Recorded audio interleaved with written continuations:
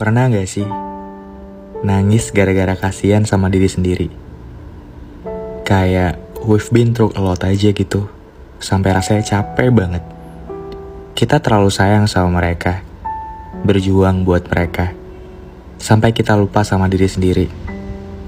Rasanya capek, capek dan pengen banget cerita. Tapi ke mana? Cerita sama siapa? Karena akhirnya ujung-ujungnya cuma dipendam sendiri kan? Karena kita nggak mau jadi beban. Nggak apa-apa. Nangis aja. Jangan ditahan ya.